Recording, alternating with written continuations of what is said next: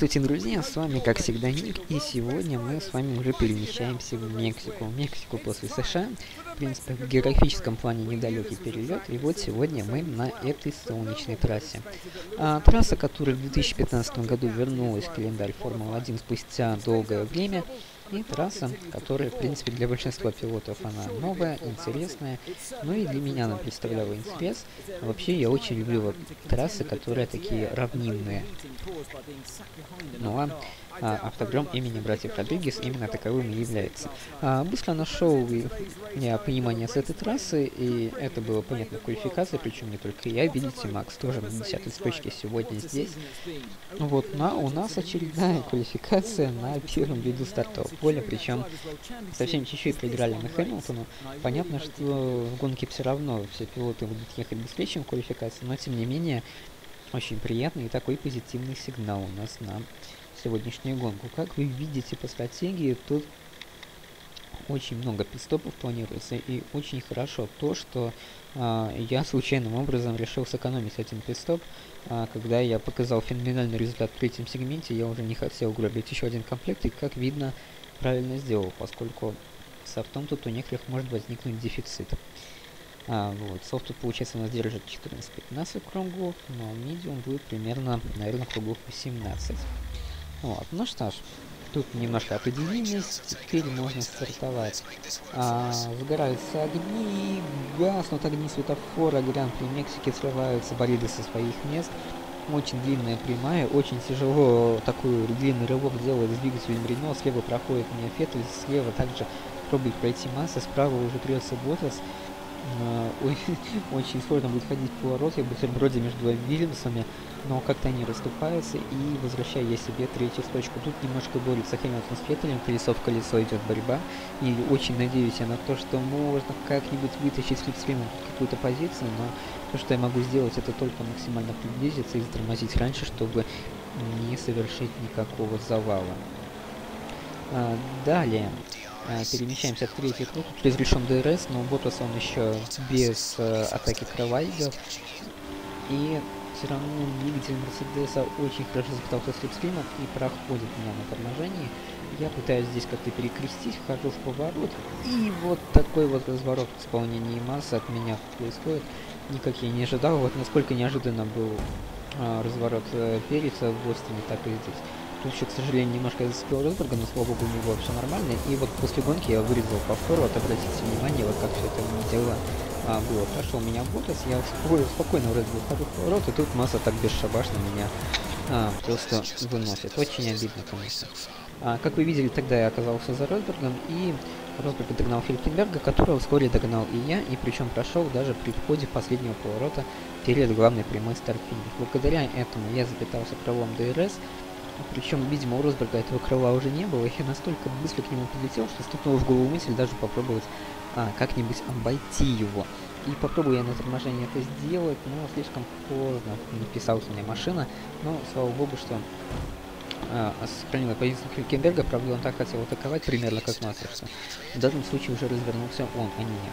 А дальше нашей жертвой стала еще одна Force на этот раз это Чеко Перес, но здесь уже а, без каких-либо разворотов, повреждений или чего-либо еще.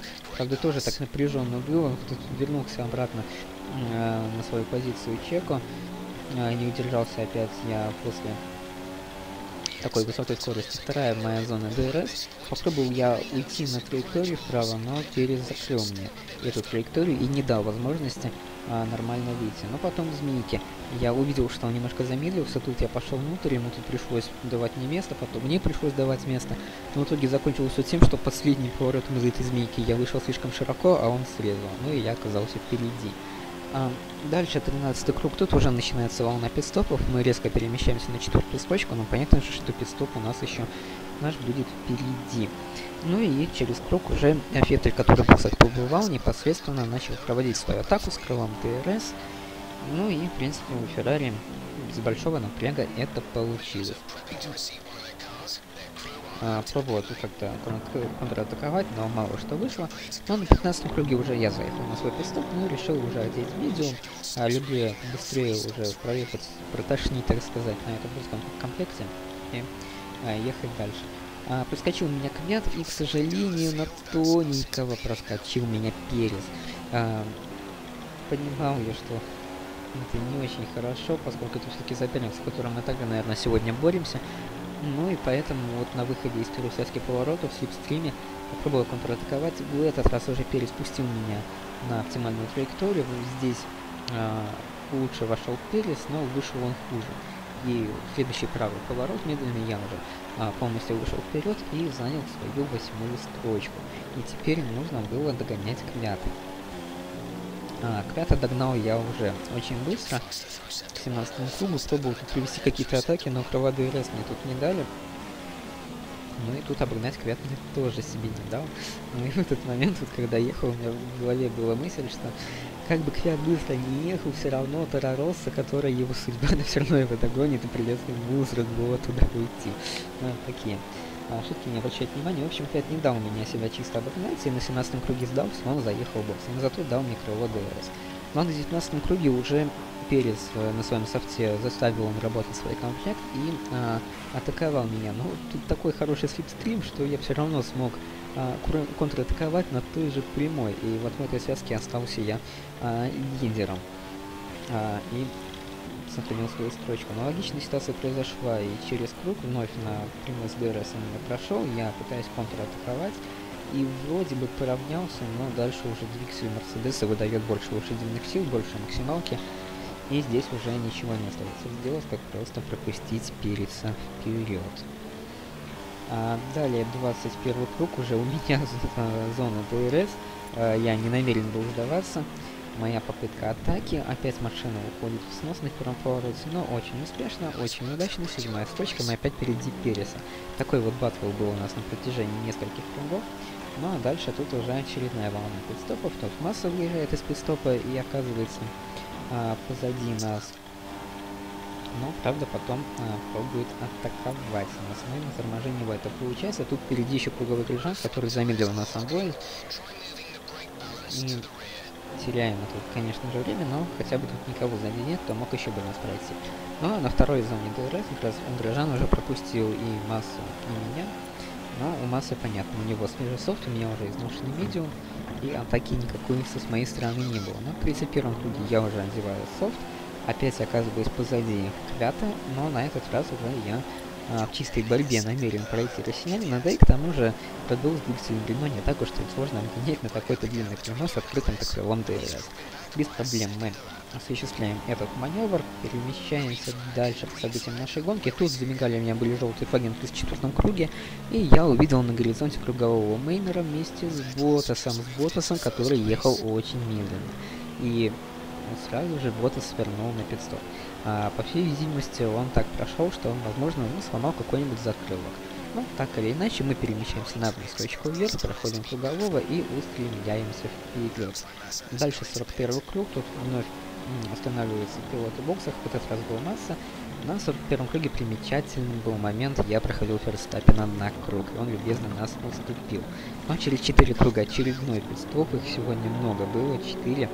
А, вот, ну и выехал я позади Массы Так что вот по тактике наконец-то вот начинал подвигаться. А, один Вильямс устранился сам, второго Вильямса нужно было пройти. А, 46 круг начинается, прямой старт финиша, открываем крыло ДРС, очень тяжело догонять двигатель Мерседеса, но под конец прямой все-таки максималка у нас становится выше, и на торможении пробую я пройти, машина опять немножко небольшой занос заходит, но все успешно, и у нас пятая строчка. Потом неожиданно почему-то рано заехал в Феттель бокс, и, видимо, у него, так же как и у Ботаса, были какие-то повреждения. Но, во всяком случае, после этого Масса также его обогнал, и больше а, мы его в гонке не видели. 52 круг а, Кими возвращается а, из боксов, из своего последнего секстепа, у него сейчас а, медиум, и очень хорошо то, что я выскочил перед ним, у меня сохранялись какие-то маленькие надежды еще на подиум, и моя задача была как можно больше оторваться от него. На 59-м круге уже и я завершил свой последний э, пидстоп, но и видите, тут нам повезло, что могли потерять время, там еще круговой лот заезжал, могли нас поддержать из-за него. Вот, но вернулся я на четвертой строчке, позади меня Феттель, впереди меня Кими, но у Кими был большой отрыв, я его сокращал как мог, но так на четвертом месте и остался, и на этом четвертом месте финишировал. а, завершилась наша гонка. Конечно же, если бы не этот разворот массы, то, может быть, мы бы и поборолись, но спорт не терпит сослагательного наклонения. Гран-при Мексики также прошел очень интересно, очень увлекательно, было много борьбы. Так что, в общем-то, я доволен. Да и когда ты смотришь, что ты проиграл победителя только полминуты, а на гонках мы всегда а, проигрывали больше круга, то, конечно же, это очень приятно. Да и особенно после провального Гран-при США. Ну, там просто не наша эта трасса, не для нашего двигателя, не для нашего шасси. Вот. Но такие вот дела. А, Впереди я оказался Даниэль Рикердо, но все равно тут уже мало гонок остается, чтобы попробовать что-то сделать на личном зачете. У Макса гонка вышла провальной, к сожалению, не заработал он очков. Ну и вот а, личный зачет вашему вниманию. Все-таки большой отрыв от Рикерда. Еще больше отрыв у меня, кстати, уже Квят вышел на девятое место, оторвался от Переса, но тут уже Квяту надо две победы, это 97 очков. Но даже математически уже очень сложно Квяту меня догнать в личном зачете. Кубик конструкторов аналогично, с Индией уже не думаю, что нас догонит, ровно как и мы Bull. Вот, так что будем получать удовольствие от последних гонок. Теперь мы с вами увидимся в Бразилии. Ну а с вами был Ник. До скорых встреч. Всем пока.